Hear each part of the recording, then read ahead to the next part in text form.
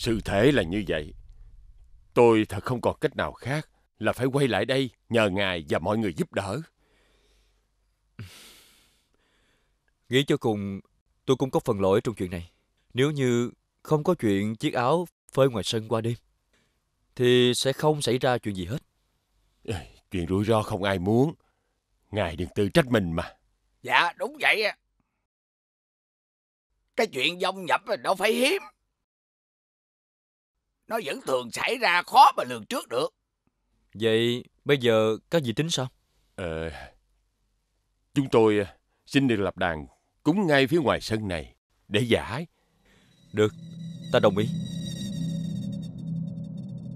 Thôi chết rồi. Tôi quên nói.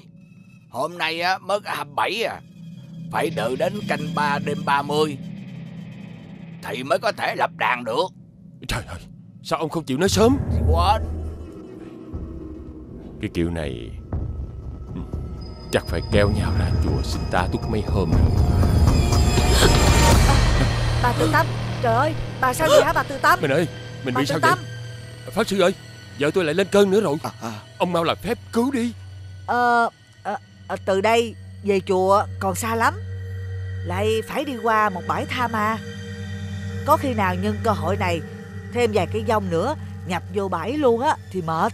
Ờ, Tôi nói vậy có đúng không ông? Cái điều đó cũng thường xảy ra lắm. Ôi, Trời đất ơi. Hay là bây giờ như vậy Chúng tôi còn dư một phòng trống Khá rộng rãi ở phía sau. Hãy để bà ta tạm nghỉ ngơi đêm nay Được không ông